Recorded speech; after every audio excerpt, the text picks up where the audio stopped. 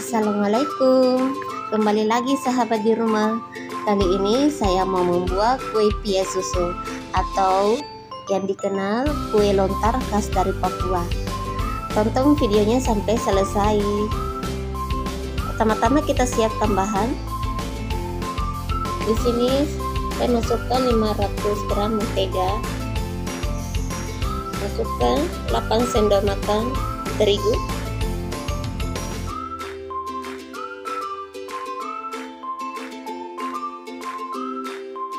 kita aduk sampai benar-benar menyatu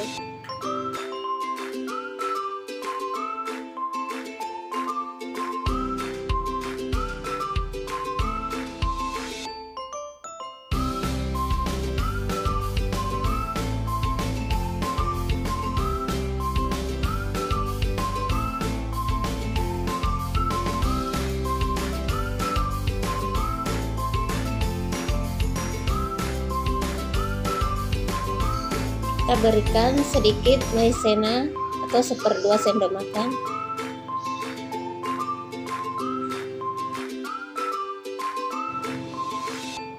Kita ratakan sampai benar-benar kalis.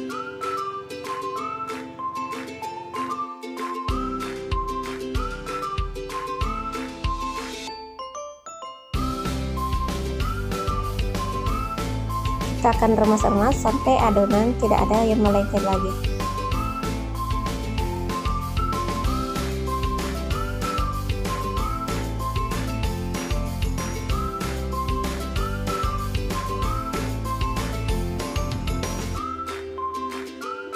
nah ini adonannya sudah agak bagus.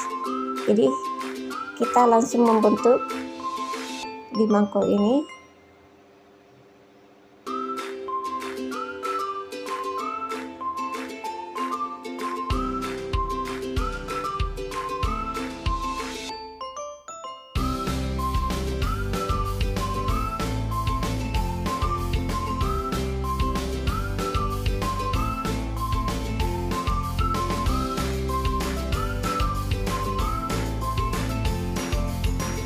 bentuk seperti ini lebih tipis akan hasilnya lebih bagus ya.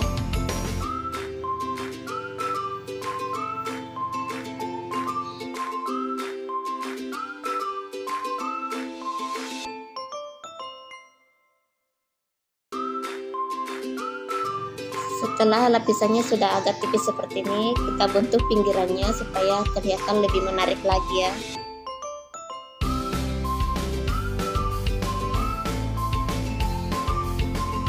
kita sisihkan.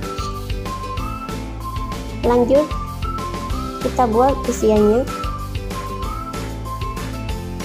Masukkan 3 butir telur. Di sini saya menggunakan 3 butir telur yang ukuran jumbo. Kalau ukuran telurnya agak kecil boleh tambahkan telur 4 atau sampai 5 telur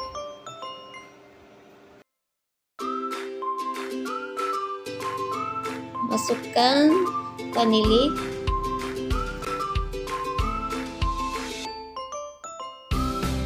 Kita kocok pelan-pelan saja.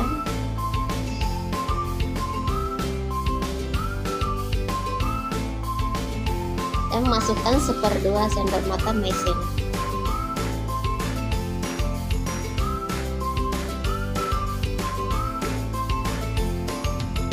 saya gunakan seperdua susu kaleng jika suka lebih manis, bisa gunakan satu kaleng susu. Di sini saya tambahkan air satu kaleng.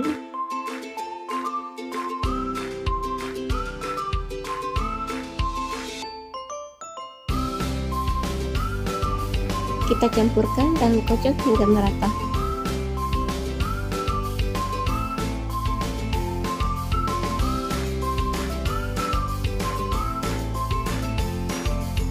Kita ambil adonan yang tadi. Di sini kita saring terlebih dahulu agar tidak ada gumpalan. Dan siap untuk dipanggang. Kita panggang sekitar kurang lebih satu jam dengan menggunakan api sedang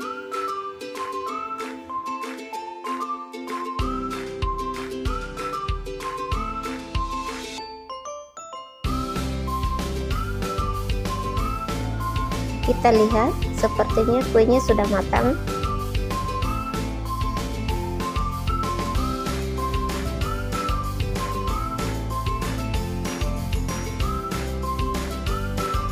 Wow, ini dia. Kue pia susu atau kue lontar khas dari Papua.